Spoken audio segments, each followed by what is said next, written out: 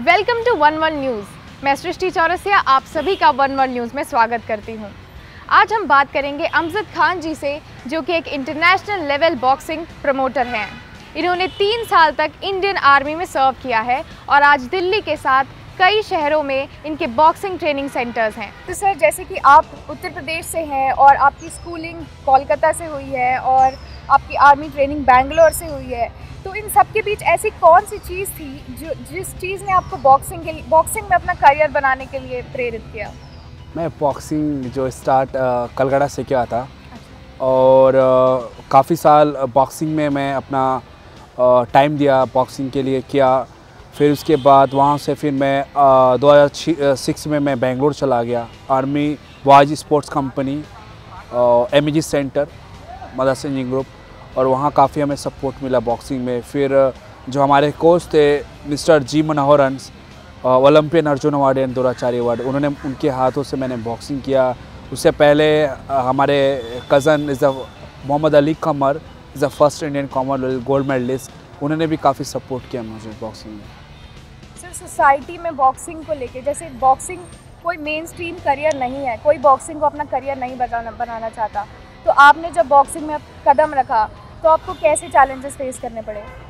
देखो चैलेंजेस तो हर एक गेम में आना, आता है। अगर किसी भी स्पोर्ट्स में आप चले जाएँ चैलेंज उसको तो करना ही पड़ेगा। या क्रिकेट या वॉलीबॉल हो या कबड्डी हो, किसी चीज़ में उसको तो मेहनत करना ही पड़ेगा। जैसे ही मेहनत नहीं करेगा, वो उसका कैसे सिलेक्शन हो सकता है नेशनल टीम में? नेशनल टीम में वो होता है जो ये चार करोड़ लोगों में उनका आ, उ, उसमें सिलेक्शन होता है तीस से चालीस बॉक्सर का। तीस से चालीस लोग का मतलब इतनी बड़ी बात कैसी हो सके? मतलब इतने देश में जन लोग हैं उसमें जो हमारे यंग यंग लड़के सिलेक्शन होते हैं तो ये बहुत इम्पोर्टेंट बात है। सर ये बॉक्सिंग ट्रेनिंग सेंटर्स की जो आपने शुरुआत की जिसके द्वारा आप आज दूसरों को भी प्रेरित कर रहे हैं बॉक्सिंग के लिए इसके बारे में कुछ बताइए सर।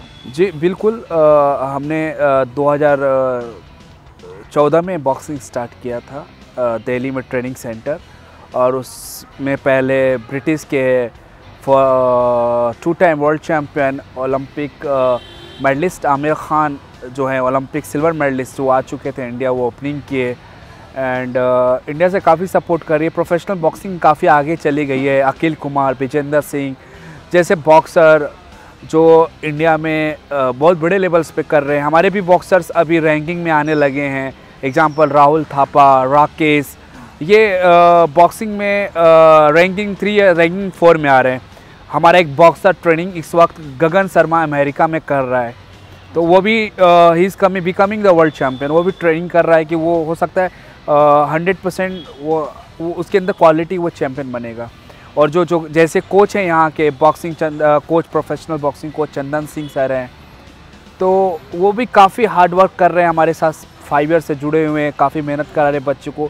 देखिए सफलता तो एक दिन में नहीं मिलती है किसी चीज़ को टाइम देना पड़ता है और मैं भी हार्ड वर्क कर रहा हूँ मुझे भी काफ़ी चीज़ों से संघर्ष करना पड़ता है काफ़ी फेस करना पड़ता है लेकिन आदत हो गई हैबिट बना लिया मैंने उस चीज़ को फेस करने का। हम विमेन प्रोटेक्शन विमेन सेफ्टी के बारे में बातें करते हैं। तो क्या आप लड़कियों को भी ट्रेनिंग देते हैं? और क्या लड़कियाँ बॉक्सिंग करने के लिए उतनी ही इच्छुक हैं? बिल्कुल बॉक्सिंग में लड़कियाँ भी अच्छी कर रही हैं।